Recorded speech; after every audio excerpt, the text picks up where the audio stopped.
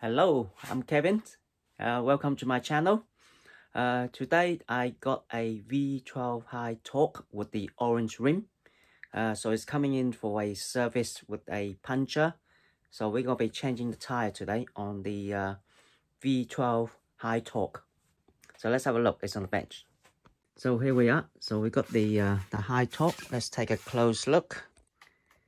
So this one is got the uh, the orange rim and the tire is different on the high torque. so it's got a knobby and street tire so this is a, uh, a dual terrain uh, yeah multi terrain so basically it's a road and off-road tire so on road it's quite smooth and it's quite round so you can curve with this so that seems to be a nice tire by looking at it uh, so you got the orange rim and uh, everything's the same the pedal with the four bolt which you can adjust.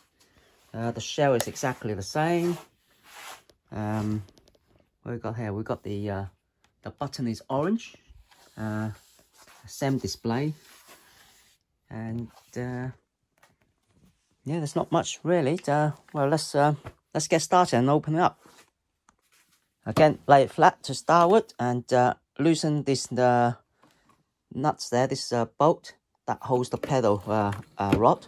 So once it's all uh, loosened, tap the rod out and the pedal out it come. Again, one, two, two screw. Pull the top off by putting a screwdriver in there. Uh, and this will pop out. So to demonstrate that, you put your screwdriver in here and there's a clip and off it come. You see there? So that clip comes off there. So right in the corner there, pop in there and off it come and you just push that back and off it come so that's the size so we've got one two three four screw and one two and four on the bottom one two three four and the shell will come off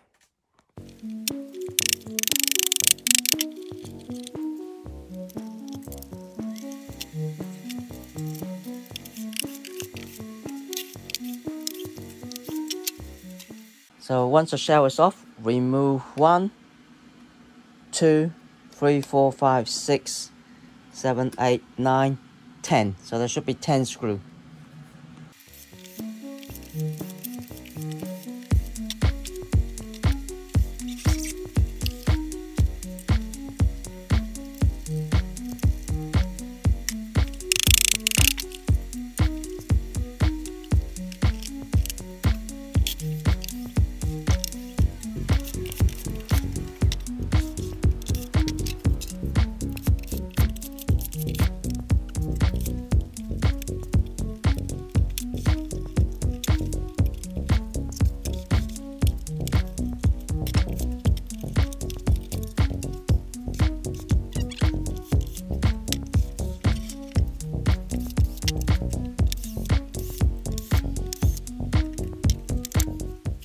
Okay, so this V12, it looks like uh, they uh, revert back to the uh, the first gen uh, V12. So the original first batch of V12 doesn't have the little circuit here. It's only have two plate. So it looks like this is a two plate. So they revert back to the old uh, first gen uh, configuration, which is without the little stupid circuit that holding the cable down. So it's just a plate, which is good. Um, and again, you know, the V12, they, they always make this mistake by having the wire there. You see that it's that squeezes that pressed down on those high voltage cable, the battery cable, which is the same thing. Um, so this time, the cable is running around the side here instead of going around the center. Okay, so this is the V12, the way they done it is running the wire down this side and pushing against there. So by looking at this, that look exactly the same, except it hasn't got the top circuit. So let's remove the motor cable.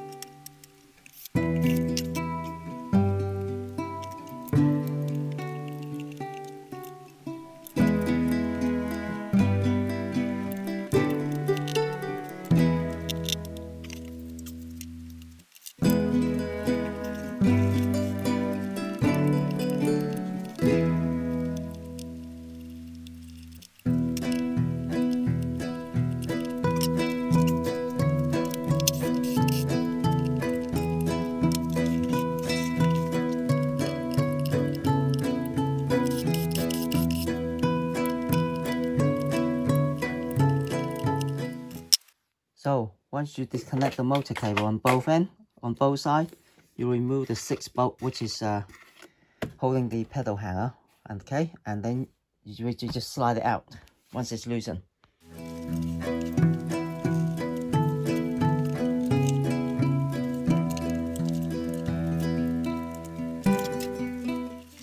See, I'll put the motor, clamp the motor down, and then just lift the shelf off uh, with the battery, everything in one piece. So also, don't forget to mark it. So this is the right hand side, and this is the right hand side. So put a label on it, mark it or something, so that you recognize it. This is the right hand side, and the other side is the left hand side.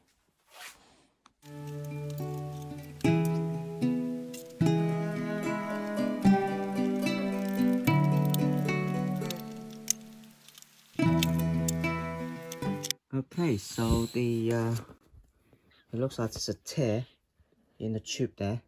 That what's causing the problem that for it to leak. Uh, yeah, so there's no there's no puncher. I can't see any puncture.